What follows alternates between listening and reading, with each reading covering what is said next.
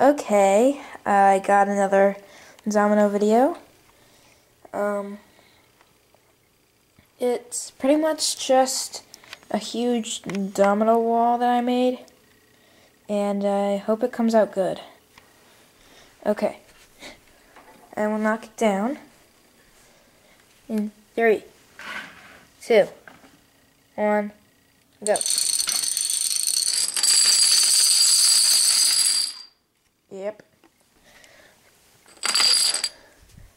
So, thanks for watching.